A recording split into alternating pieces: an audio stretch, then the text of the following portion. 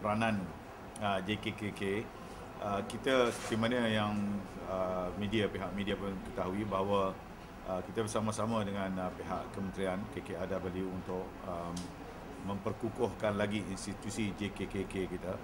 Uh, khususnya melibatkan dua jenis JKKK iaitu uh, JKKK uh, di um, di kampung-kampung Melayu dan juga JKK OA ya orang asli dan uh, sekarang kita telah pun mewujudkan juga uh, JKKK di Kampung Baru dan juga di Kampung uh, orang India. Dan kita ada seluruhannya di dalam negeri Perak ada empat uh, jenis. Dan uh, kita akan menggunakan uh, kaedah JKKK kita uh, bersama bagaimana memperkukuhkan lagi uh, khususnya melibatkan JKK uh, Kampung uh, Kampung India.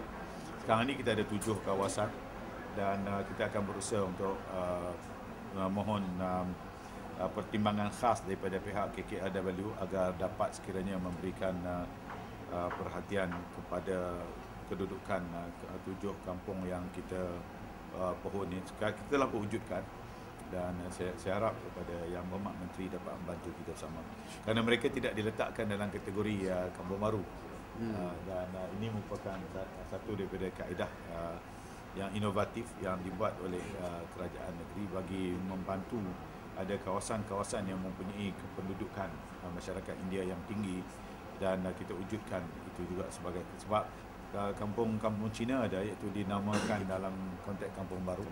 Manakala dalam uh, konteks uh, kampung Melayu kita ada kampung orang asli kita ada dan uh, negeri Perak mempunyai uh, ratusan uh, penduduk masyarakat India yang agak tinggi juga 11% daripada keseluruhan uh, jumlah penduduk negeri Perak. Jadi uh, ada kawasan-kawasan tertentu yang mempunyai uh, kampung-kampung yang besar yang terdiri daripada masyarakat India.